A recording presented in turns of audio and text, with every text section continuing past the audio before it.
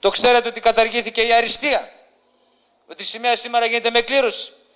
Το έκαναν μόνο και μόνο για να σηκώνουν τη σημαία και παιδιά λαθρο, λαθρομεταναστών, για τους οποίους ακούστηκε, γιατί βγήκε την προηγούμενη εβδομάδα μια εφημερίδα, η Αυγή συγκεκριμένα, και έγραψε ότι πρέπει να δοθεί ψήφος στους λαθρομετανάστες και όχι στους Έλληνες του εξωτερικού, γιατί οι Έλληνες του εξωτερικού δεν ζουν στην Ελλάδα, ενώ οι λαθρομετανάστες από το Πακιστάν και το Παγκλαντές θα ζήσουν στην Ελλάδα. Σε αυτούς στηρίζονται για να ξεπουλάνε την πατρίδα. Δεν μας υπολογίζουν εμάς τους Έλληνες, υπολογίζουν τη δύναμή τους στους ασελγείς και ανώμαλους και στους λαθρομετανάστες και όχι πρόσφυγες και μετανάστες, τα παραμύθια τους.